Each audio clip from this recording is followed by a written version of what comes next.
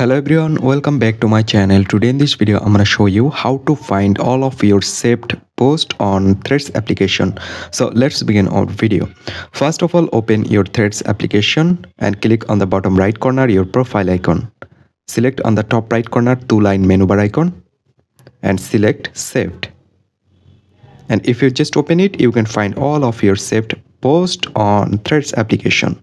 So that's it guys. I hope you can understand. Thanks for watching this video.